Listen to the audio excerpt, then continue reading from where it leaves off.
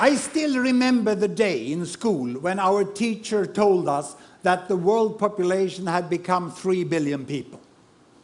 And that was in 1960. And I'm going to talk now of how world population has changed from that year and into the future.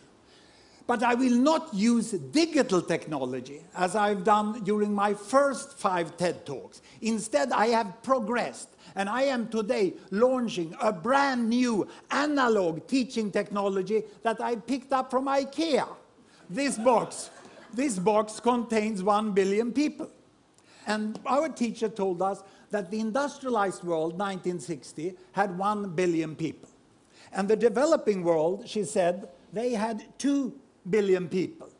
And they lived away then. There was a big gap between the 1 billion in the industrialized world and the 2 billion in the developing world. The industrialized world, people were healthy, educated, rich, and they had small families. And their aspiration was to buy a car.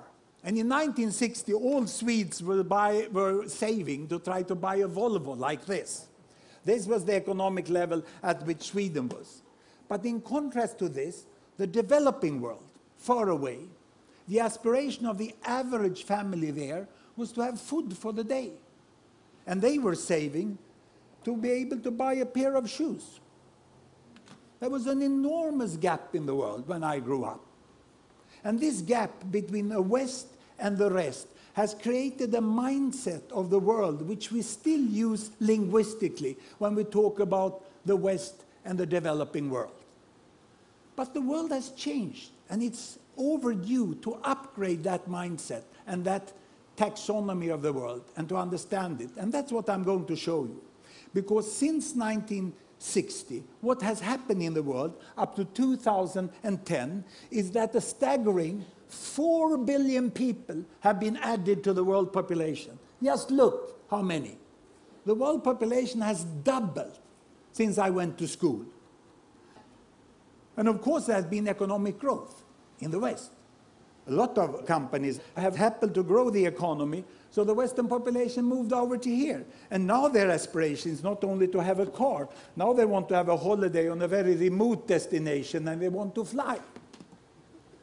So this is where they are today. And the most successful of the developing countries here, they have moved on, you know, and they have become emerging economies, we call them. And they are now buying cars. And what happened a month ago was that the Chinese company Geely, they acquired the Volvo company. And then finally the Swedes understood that something big had happened in the world. You know? so there they are. And, and, and the tragedy is that the two billion over here that is struggling for food and shoes, they are still almost as poor as they were 50 years ago. The new thing is that we have the biggest pile of billions, the three billions here, which are also becoming emerging economies. Because they are quite healthy, relatively well educated, and they already also have two to three children per woman, as those have. And their aspiration now is, of course, to buy a bicycle. Eh? And then later on, they would like to have a motorbike also. Eh? But this is the world we have today. No longer any gap. But the distance from the poorest here, the very poorest, to the very richest over here is wider than ever. But there is a continuous world from walking, biking, driving, flying. There are people on all levels, and most people tend to be somewhere in the middle. This is the new world we have today in 2010. And what will happen in the future? Well, I'm going to project into 2050. I was in Shanghai recently, and I listened to what's happening in China, and it's pretty sure that they will catch up, just as Japan did. All the projections. This one will grow with 1 to 2 or 3 percent, and this grows with 7, 8, and then it, they will land up here. They will start flying. And, and, and these lower middle income countries, uh, the emerging economies, they will also forge forwards economically. And if, but only if, we invest in the right green technology so that we can avoid severe climate change and energy can still be relatively cheap, then they will move all the way up here. and they will start to buy electric cars, isn't it? This is what we, what we will find there. So what about the poorest 2 billion? What about the poorest 2 billion here? Will they move on?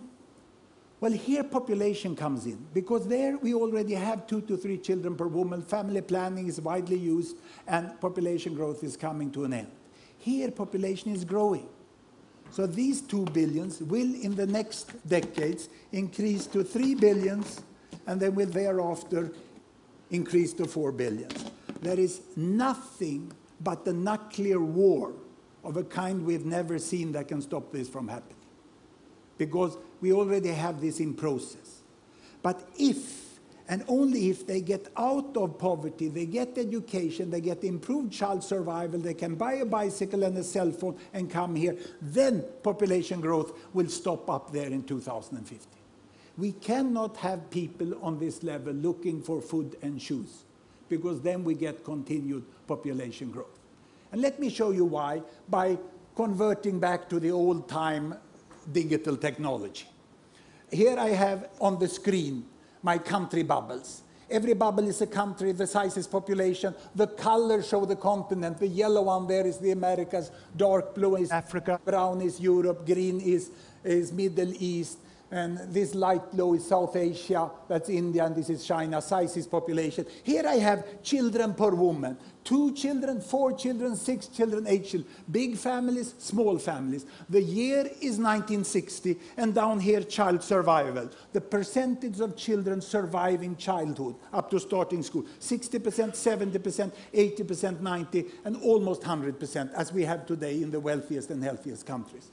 Look, this is the world my teacher talked about in 1960. One billion Western world here, high child survival, small families, and all the rest, the rainbow of the developing countries with very large families and poor child survival.